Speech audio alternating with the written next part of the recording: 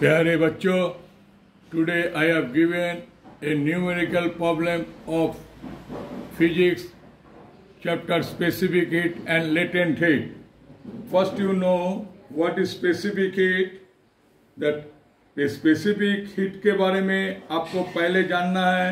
मैं पहले वीडियो में ऑलरेडी हम बोल चुके हैं कि specific heat it may be defined as the amount of heat required to raise the temperature of 1 kg of substance through k unit through 1 k units तो हम जानते हैं heat loss equal to heat gain specific heat में main chapter है heat loss equal to heat gain but here you see the question calculate the amount of heat required to convert 30 gram of water at 25 degree centigrade into stream. Here two type, two stage of water. So first you know what is latent heat. Latent heat, the latent heat of fusion to convert the state without changing of temperature to convert the state without changing of temperature इसका मतलब क्या है जब पानी यानी water be hundred degree centigrade but not change in stream completely when it is hundred degree centigrade it is gradually changes then is temperature will increase water if it is ice तो ice first आपको water में आएगा total zero degree centigrade में रहेगा total ice जब water बन जाएगी, इसके बाद वाटर का टेम्परेचर राइज करेगा. At this means In latent heat, temperature become constant at the change of or convert the stage. Clear? No, now see, here you have to find this or solve this problem in two parts. First, the calculate the amount of heat required to convert 30 gram of water at 25 degree centigrade into steam. That let, let the let the heat required heat required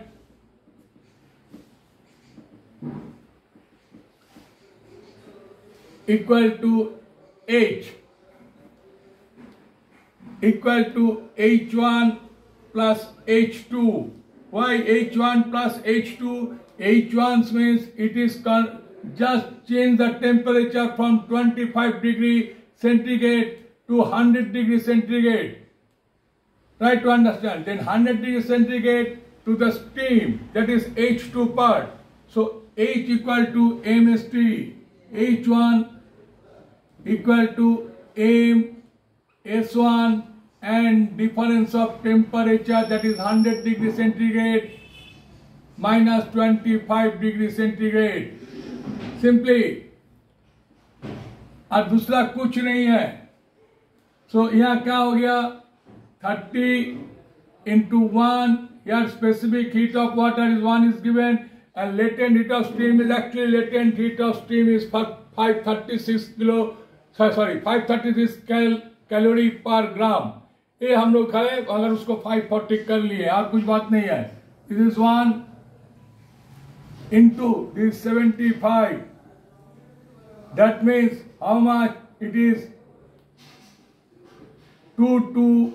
Five zero two two five zero calorie this calorie and what is H two H two equal to M L beading just to H two equal to M L फिर से हम बोल रहे हैं, अभी पानी जो है water is now becomes 100 degree centigrade और इसके बाद अभी स्टीम होगा। स्टीम का मास वही 30 ग्राम रहेगा एल क्या हो जाएगा? 540 से मल्टीपल कीजिएगा।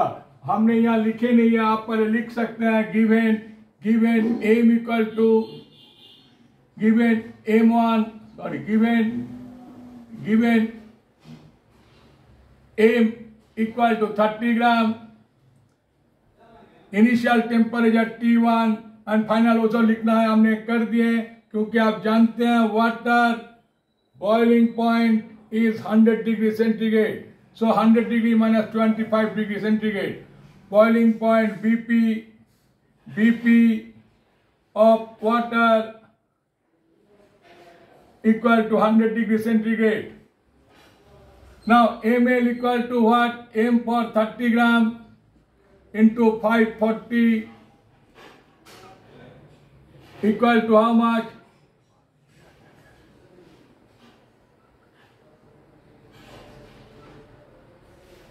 Sixteen thousand two hundred calorie. So total calorie equal to total heat.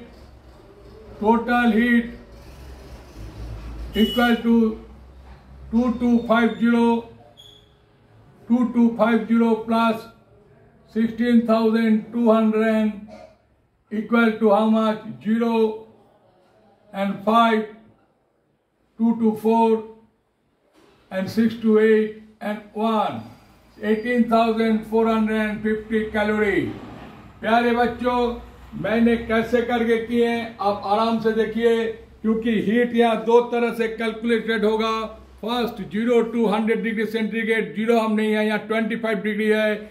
Zero is the melting point of ice so zero degree नहीं है, यहाँ पर बोल दिया initial temperature is twenty five degree centigrade तो heat equal to heat heat loss equal to heat gain so when it is heat gain M S T two minus T one T two is hundred degree centigrade and T one is twenty five degree centigrade ये जब आपका गर्म हो गया 100 degree centigrade then it convert to the steam that means still the temperature remain constant and 100 degree centigrade till जब तक one molecule भी अगर रहेगा वो भी 100 डिग्री सेंटीग्रेड रहेगा, जब तक ना स्टीम होगा टोटल कन्वर्ट होगा।